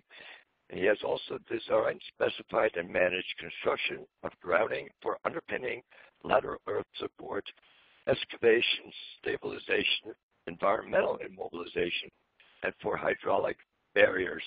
And at this time, I'm going to be bringing up the presentation for Mike Byle. And Mike, I will turn it over to you at this point. Great. Well, thank you for that nice introduction. Um, you know, he mentioned that I've chaired a couple of uh, international grouting conferences. I'd like to let you all know that there's another one coming up uh, in February of 2022 in New Orleans. So mark your calendars and look forward to that one. Um, we're going to talk today about some uh, low temperature dam grouting that this happened up in uh, as a project that was up in northern Quebec. Um, and uh, tell you a little bit about it. It was a, it was an existing uh, concrete sluice dam with 19 spillway sections. It had it was about 470 feet long and had about 25 feet of head on it uh, with 94,000 CFS spillway capacity. So it's a pretty good size dam that handles a lot of flow. It was built in 1911. It was reconstructed in 39 and 54. Um, and then, but the foundation is built over basalt, and that was one of the issues that uh, because it was uh, you know shrinkage and cooling fracturing in the basalt and at the surface had resulted in a lot of vertical and subvertical fracturing. Uh, or, or, I guess most of the fractures were oriented about 45 degrees, which would made it uh, easy to to grout. Um, so looking at the dam, I mean it's a it's a really kind of a beautiful spot up in the up in the hill country and the in the the glacial moraines of uh, northern Quebec, and uh, you can see the, the the nature of the of the of the facility. Uh, we're working uh, this project mostly involves the center portion of the dam. There's a little more of a close up of what that uh, dam looks like. Uh, you can see the you know how the flow works, um, and uh, how that goes. Now, what happened was that uh, they originally proposed to do some repairs to this dam, which included uh, removing and replacing portions of the roadway that was atop the dam. Uh, they were going to repair some damaged apron slabs, extend some piers, uh, relocate some sluice gates further downstream, um, and install some post-tensioned anchors to improve stability. Well, when they got to actually doing the work, they had some issues. Is that there was a lot of underseepage on the dam, uh, where uh, you know so, the, through these uh, fractures and uh, and broken surfaces on the uh, on the on the rock underneath the dam. So there were some large openings and large voids with high flows, and that gave them some problems when they tried to grout this initially. So uh, to give you an idea, here's what some of the apron damage looked like. There were some big holes in the aprons that, that have been had developed, but you can see the size of the voids underneath there. Uh, there were some pretty big openings that had to be fixed. Um, the uh, and also when uh, you know they drilled some holes through the uh, through the, the apron slab, uh, got some water flow, some high pressures coming up underneath there uh, through those openings. So those those conditions created problems for their uh, for the, uh, the, the initial grouting process. So they originally proposed to just inject a primarily a cement grout. They did use some uh, some agents that were uh, to, to help it set and cure faster. Um, but uh, as a result, they were they were successful in only 14 of the 19 sluices. So they failed in the high flow areas. What happened was that they actually got the grouting done, um, and everything looked good. It all locked off. They came back the next day, and all the grout was gone. So it had uh, eroded before it could fully set, and that was part of the problem here. So uh, it required institution of a, an, an, additional special grouting program. But what happened at this point, because this most of this original grouting happened during the summer, and the, and they were supposed to have the, uh, the the dam construction work done in the fall and over the winter, so that the dam would open for the spring floods.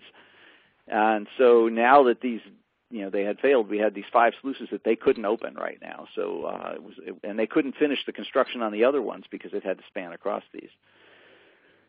So this created a problem, and uh, you know it was primarily in the area that was clouded here, showing you know where where we had the problem cells. They did some dye testing to see what the flow problems were, and uh, pretty much when they uh, wherever they injected dye, it came up everywhere. So it was it was pretty wide open underneath these and interconnected.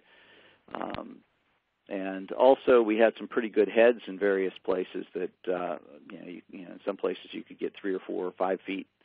You see, this is later in the season. You can see some ice and snow on uh, in this photo. So what we did had to develop this phase two grouting plan, which uh, one of the things that we had a problem with is we had to we had to go up into northern Quebec. We had to develop a system that would uh, mitigate any condition we came across. So we had to be prepared um, the, you know the limited knowledge and investigation, you know, because we didn't have time to do lots of investigations and studies on this. We had to get it fixed. So we came up with a, a, a really robust program. We included low mobility grout, uh, uh, similar to what uh, you know uh, Sam just described, uh, to fill the large openings, where we put this coarse uh, low mobility material in there to fill the big openings we had uh, included polyurethane grout, which would you know generally expand and cause you know foam, similar to what your first presentation was about. And uh, we looked at some high mobility grout, which is you know basically uh, you know cement and water for the most part, but it included some other additives to make it more stable. Uh, and then the fourth option we looked at was using that high mobility grout with sodium silicate. I don't know if any none of the uh, presenters have described that. That sodium silicate is often used as, in its own right as a uh, chemical grout that uh, you know can, goes in gels and sets. But one of the uh, factors of sodium silicate it does cause a flash set or rapid set within uh, with, this, with of cement. So by injecting that, we were able to control the, the you know, cause the, the cement to, to, to set up more quickly and better resist the under erosion. We took a stepwise approach, uh, iterating as we went along. We also used televiewer in every grout hole. You know, a televiewer is basically a borehole camera, 360 degree borehole camera that we can lower down the hole and observe conditions. And so we did that on every single hole so we knew what we were going into. The idea was we would identify the size and the nature of the openings in each hole and then select the method of grouting based on the conditions we had observed and it had to be completed over the winter months. Obviously, now we were into the the late fall at this point when we're getting uh, we're planning this work, and we have to have it done by March. So uh, you know, up in that part of the world, it gets pretty cold in the wintertime. So the basic plan uh, was was to install a three-line grout curtain at the upstream uh, portion of the dam, uh, you know, close to the center line of the dam. Um, if you see the color coding in there, they were different. You know, we had our, our initial, uh, you know, uh, containment grouting and our cutoff, and then we had our sealing curtains after that and we used uh, you know, we used different materials in each one uh, with the la- with the with the latest and, and farthest upstream injections being the you know the finest most mobile grout to assure that we had the best cutoff. Okay, here's what the dam looked like when I got there. Um, it was much later in the season. It was all nice and pretty in those earlier pictures, but we had a lot of ice and snow. Um, as you can see, uh, you know, we had roadways built up there that had to be maintained. Uh, we had a pier that was built out on the downstream face for access for the crane. Uh, we had uh, you know each of those sluices you can see that has the you know you can see the white gaps in there. I'll give you a better picture of that, but we had had enclosures on those so that we could work in there.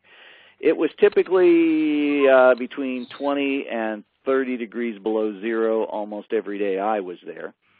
Uh, so it was uh, very, very uh, uh, harsh conditions to be pumping grout. You have to worry about whether your materials are going to freeze, all your all your lines, all your materials, all of your uh, your uh, your grout itself, uh, handling spoils and runoff, your cleanup, everything you do uh, involves water, and uh, water will freeze at 30 below.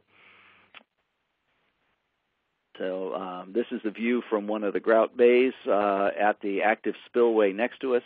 This was on a day when it was about uh, about 35 below. Um, if you look at, you see those trees; they're all covered in hoarfrost behind there. It was interesting watching this as the water would splash up. It would freeze in the air and fall back as ice. Uh, it was really a, a unique and complex place to be working. So um, here's what we did uh, as far as those sluiceways is we uh, basically enclosed them uh, with a uh, with, with, just a, you know a plastic layer.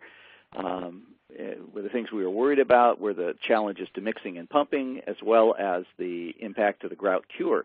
Uh, think about under that dam, we're injecting into water that's got a temperature of just below freezing, or you know, actually at or below freezing in some cases, because it's you know it's, it's super cooled in some cases.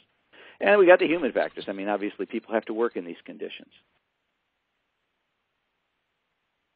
So, uh, the conditions in the sluice. The upstream face was blocked using reinforced polyethylene held in place with timber framing. Uh, the upstream opening of the sluice was blocked with timber bulkhead. Uh, the downstream face of the sluice was covered with a reinforced polyethylene sheeting, and heated air was injected from above uh, by heaters stationed at intervals on top of the dam. The circulation enabled working temperature between 4 and 10 degrees. It wasn't, you know, balmy, but it was such that you could take your gloves off without uh, having your hands freeze. Um, know, pumps ran continuously, and the heaters ran continuously. Uh, we had uh, we had to discharge all the water, everything that came up out of the hole, anything that leaked through the the upstream face had to be captured and and and, and dealt with. I want to show you quickly. Uh, here's the uh, arrangement of the heating heaters up on the top. Uh, these ran 24/7. They had duct, they were ducted down into the sluice bays so that we had a continuous flow of uh, hot air coming into there. Obviously, since the uh, you know the, with the cold water up one side and the uh, cold air exposure on the other, that you know a lot of heat was absorbed by the dam as as in, in this process. Um, this is uh, a look at one of the sluiceways that after we uh, took the heaters off and, and, un- and exposed it, you can see how the ice forms on the upstream face for you know whatever leaked through that barrier, the snow accumulation and stuff. It was you know, like I say, 35 below in there is not uh, a friendly temperature to be working at. Okay, drilling grout holes. Uh, we generally used uh, within the enclosed bays. We put we used the crane to drop in a piece of equipment, uh, and this was an air-powered uh, drill.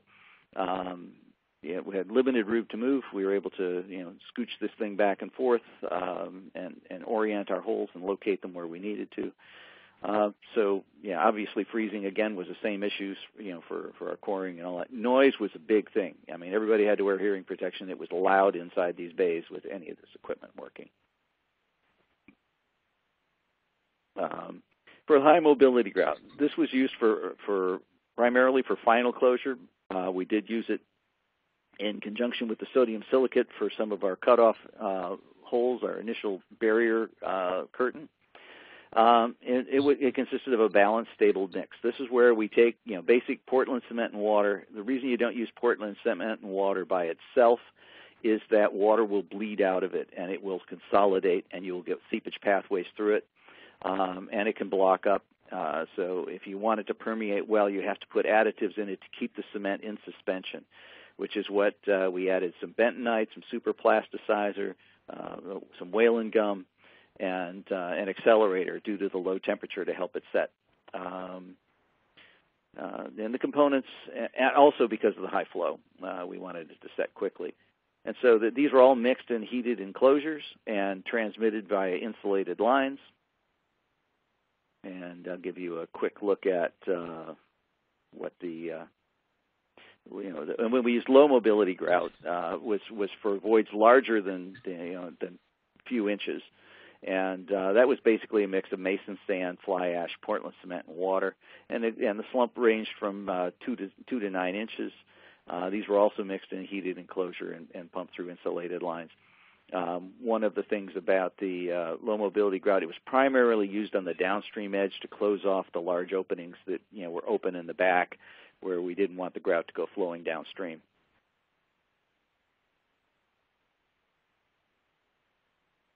Polyurethane grout. Uh, you know, this is you know you heard the the first paper today was about that. Uh, you know, talking about the you know the, the nature of the material. It, it generally foams. One of the problems with it though is it is temperature sensitive as to how it cures.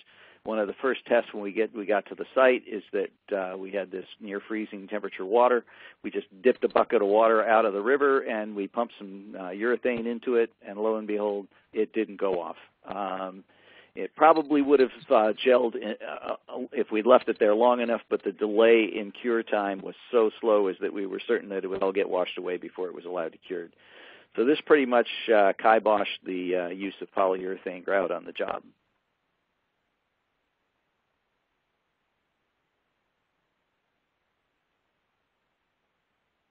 So here's what the uh, the mix uh, operation looked like for the uh, high mobility grout. It was in a heated com- container. These were just basically shipping containers that had heaters in them, and all the digital controls and mix controls and were were within these. The materials were stored in an adjacent container, um, you know, and kept warm so that they would go into the mix. I mean, the last thing you want to do is take a bag of cement that's at minus 30 degrees and dump it in with water. It's going to make a big block of ice. So um, all, of those measures had to be considered in, in the process. Here's uh, these are actually material storage huts. Uh, this is you know first thing in the morning when you get out there. The temperature is you know close to minus 40 at the you know at the overnight, and then it warms up to to minus 30 or minus 25 during the, the the peak of the day. So uh, you get an idea of, of you know the materials were, were stored in places like this and then brought inside and warmed up before they were actually used. This is inside one of the bays. This is showing the sodium silicate injection process. What you're seeing there is the little small black line is the sodium silicate line. The uh, yellow line is our balanced stable cement grout coming through, and they're blended at that point you where that shutoff valve is and inject it down the hole. And what happens is that that uh, that sodium silicate begins to react with that cement as soon as it's injected, and it causes that jet that that cement to gel um, as it's ejected from the pipe, which helps it to block up any openings and, and causes it to clump up so that it doesn't get transported away during the, the, the injection process.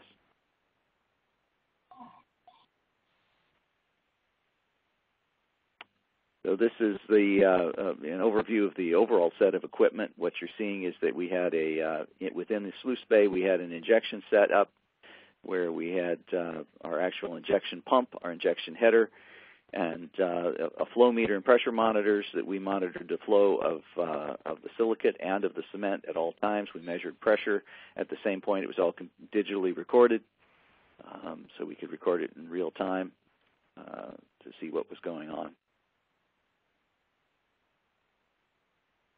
Uh, the exterior conditions, like I said, it's minus 30 degrees C most days. Uh, it's colder at night. Um, ice buildup continued uh, was continuous due to waves, splash, underwater seepage, uh, seepage water, meltwater, whatever. Everything we did, you know, generated something that froze. Um, and we had continuous crews involved doing nothing but removing ice. Uh, this is uh, a view looking at the, you know, from the dam sluiceway to the uh, the platform that was built behind with the crane on it, and you can see the icicles and the ice buildup forming on that. All the walkways, all of our support conditions, everything was was constantly uh, being attacked by ice. Um, and we had to use dipstick and block heaters re- required to start most equipment. Some equipment we kept running 24 hours because of the cold temperatures. Um, extra care is required to preserve your grout samples. That's another thing is when you take a sample, you know, and you want to test it, you've got to make sure you keep it warm. Uh, you cannot just set it down and, and leave it there and come back the next day because it will be frozen and ruined. So um, here's a little bit about what the uh, you know the, the, injection response goes. This is uh, you know our digital plot of, of, of the pressure response. Um, the upper curve is the uh, pressure versus time, and you can see uh, as the uh, and if you look at the lower curve, it indicates the rate of injections. Uh, the red line is the sodium silicate, and the blue is the cement. So what would happen is we start out with cement. We start seeing a big flow going in with no response, no, no reduction. So then we would increase the uh, silicate response, and once we started adding the silicate, you can see that the pressure curve up above starts you know, increasing on a gradual basis until we got to our target refusal level. Then we would cut the uh, silicate off and continue to pump the the the, the, uh, the, the neat grout to uh, basically fill in the annular spaces around the clumps of grout that were uh, injected by the sodium silicate the net effect was was was highly effective, and we were able to do our secondary, uh, our next two injection holes without any silicate additive, and it worked beautifully. But uh, this was a highly effective uh, way to do this in the cold water and cold conditions. The, uh, the you know the flash set actually generates heat within the within the within the grout that helps with the uh, curing of the uh, uh, of the neat cement grout of the stable and the high mobility grout. So here's uh, a kind of a summary of, of what was done. We, uh, you know, we injected, uh, you know, 25 barrier holes, which are the initial holes we, I described with the sodium silicate uh, addition, and we put an average of uh, 62 kilograms per meter of grout volume into that. Um, and uh, except for the the contact grouting with low mobility grout, that uh, you know that was the highest rate of injection that we got anywhere. Everything else was less than that, you know, indicating the effectiveness of our initial injections. Um, the downstream barrier, we had 17 holes that had an average take of 51, slightly less. Um, we did lateral holes between the stages, uh, you know, between the barrier walls, and uh, we got much lower rejections in those at the end uh, end bays. Um, and we did contact grouting with high mobility grout, which is a, you know which where we're trying to fill the gap between the bedrock and the uh, the base of the dam. Uh, we did uh, 33 injections there with an average of, of 29 uh, kilograms per meter uh, of injection. And the uh, the contact LMG, which is as I mentioned, is primarily along the downstream toe, downstream I guess heel of the dam, where the where the uh, you know the you know there were there were openings daylighting to the riverbed, so we used uh, low mobility grout at those points. Obviously, it took a lot more grout in those locations because they were large and wide open. We also did uh, what we called relief holes that we uh, had drilled to prevent potential uplift and overpressurization of water under the dam, and those were grouted at the end of the job. Um, and those those you know were basically uh, contact holes that were uh, injected afterwards. And then our final curtain uh, grout was another 25 hole line on the upstream uh, side of the barrier, and that took very small injections, less than 12 uh, kilograms per meter square uh, per meter of injection. So that showed that you know, that the, what we look for in, in, in verification of grouting performance is a successive reduction in the volume of grout that you you're able to inject, or the increase in pressure that you have to inject as in successive stages of the grouting. So the initial grouting does some initial blockages, and your later grouting will fill in the gaps, and so you should have lower and lower volumes as you progress.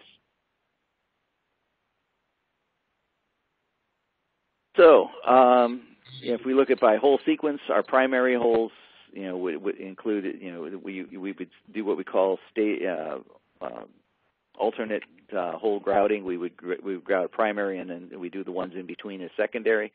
And we had a clear pattern of, of reduction in our average take uh, from the primary to the secondaries in every location, um, you know, both in the curtain and in the barrier.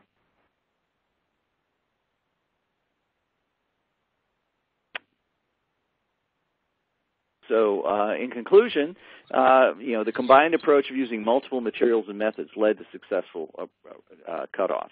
I mean, by having by taking all the tools with us and planning us planning to use all of these methods, we were able to adapt to the conditions as they arose. Um, like I said, the polyurethane didn't work because the temperature delayed set. Um, the addition of sodium silicate was really a, a, a boon to uh, creating that barrier cutoff and uh, allowed successful cl- closure under conditions that normal grouts wouldn't work.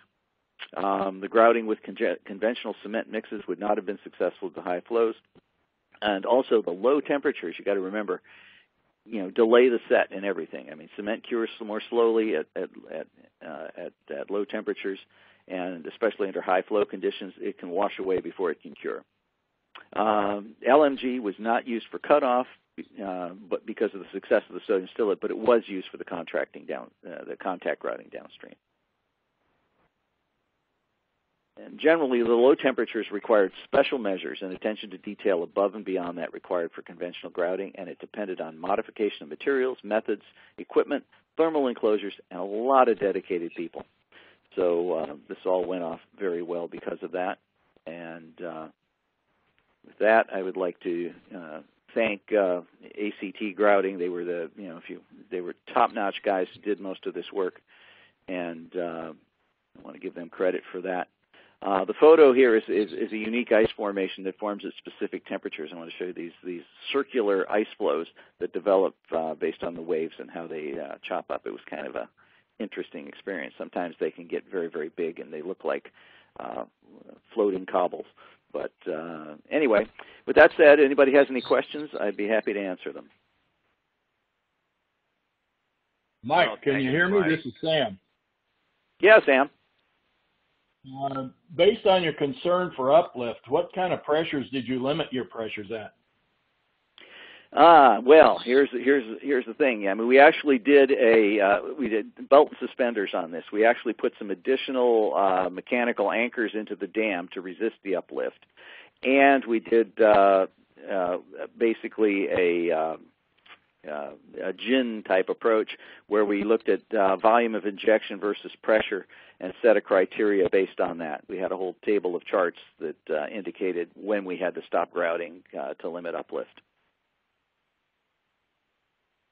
Okay. Well, thank you, Mike. And um, I will uh, put this to a conclusion here. I want to thank all the uh, parts, all the uh, speakers for uh, joining us on this webinar and uh, participating. I also want to say a special thank you for our host, uh, the ACI or GI Institute, and I wish everybody a uh, very Merry Christmas. And on behalf of uh, Mike Byle, Sam Bandimere, Milton Gomez, and Andreu Ferrero, um, uh, we wish everybody a very happy holiday season and Merry Christmas and great New Year. Be safe out there. Thank you all very much for attending. Thank you. Thank you.